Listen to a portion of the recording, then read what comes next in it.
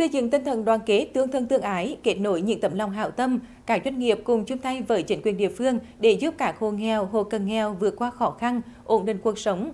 Đó là những gì mà các tổ chức mặt trận đoàn thể xã hội tại phường Đông Ba, thành phố Huế đã và đang làm được để tạo nên những đòn bẩy giúp người nghèo vươn lên góp phần hoàn thành mục tiêu giảm nghèo bền vững. Nhiều năm sinh sống trong căn nhà dừng tạm không đảm bảo an toàn, nhất là vào mùa mưa bão. Song do không có nguồn thu nhập nên ông Nguyễn Văn Hợp ở đường Nhật Lệ, phường Đông Ba, thành phố Huế không đủ điều kiện để xây dựng hay sửa chữa.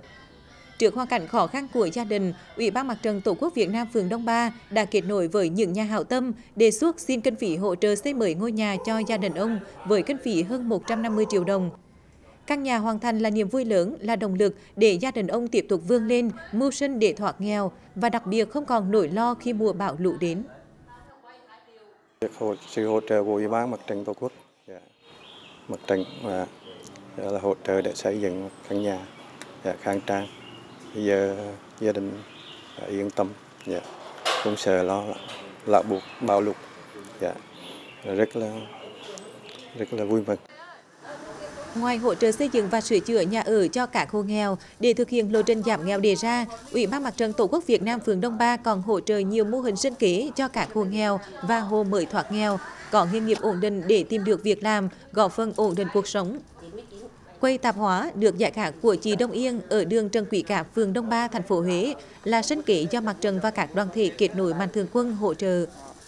Chồng nghề nghiệp không ổn định, chị lại bệnh tật, sức khỏe không tốt nên đi làm thuê cũng chỉ tạm đủ ăn qua ngày, cuộc sống khó khăn.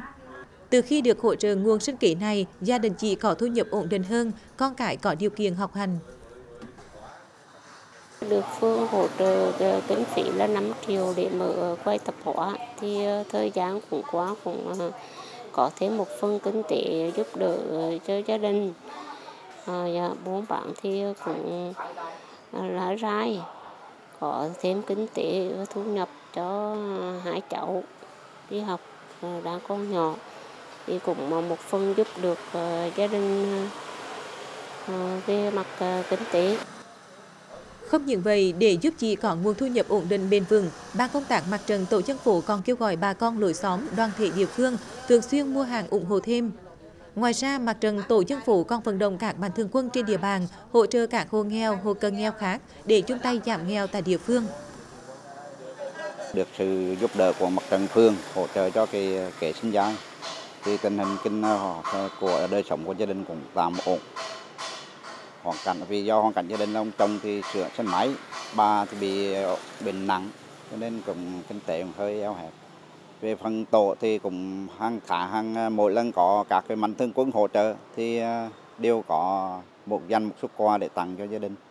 Ngoài ra là ở phường có những các cái học bổng cho các con em thì cũng đề xuất cho con em của chị Bóng Nguyên này những suất học bổng của phường hoặc là của địa phương à, trao tặng với những hoạt động thiết thực, cách làm hay của Ủy ban Mặt trận Tổ quốc Việt Nam phường Đông Ba, thu hút sự hưởng ứng tham gia của người dân và mạnh thường quân, tạo thêm nhiều nguồn lực giúp đỡ người nghèo, góp phần hưởng ứng phong trào thi đua, cả nước chung tay vì người nghèo, không để ai bị bỏ lại phía sau.